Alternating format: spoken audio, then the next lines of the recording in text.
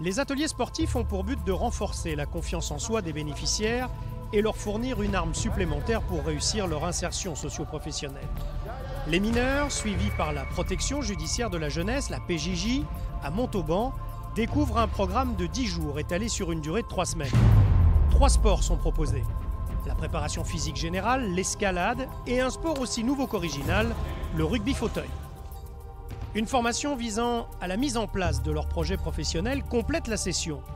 Comme il est habituel dans les ateliers sportifs, un champion de la paix, Peace and Sport, parraine cette action. C'est Imanol Harry Nordoki, le rugbyman aux 82 sélections en équipe de France, qui accueille les participants.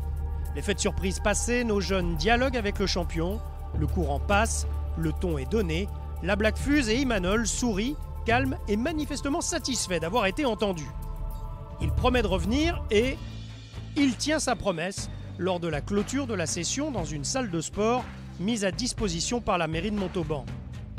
C'est ici que le club des pandas initie nos protégés à la conduite d'un fauteuil associé au maniement du ballon ovale.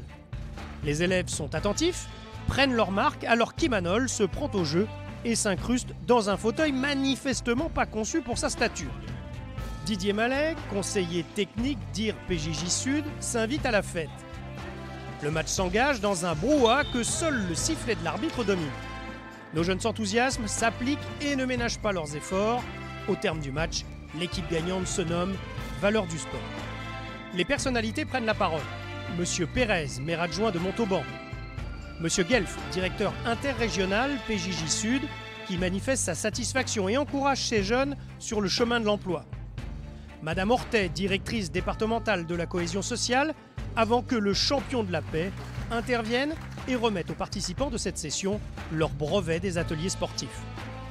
Le jus de fruits de l'amitié clôture cette journée, tandis qu'un rugby à toucher se met en place à l'initiative d'Imané.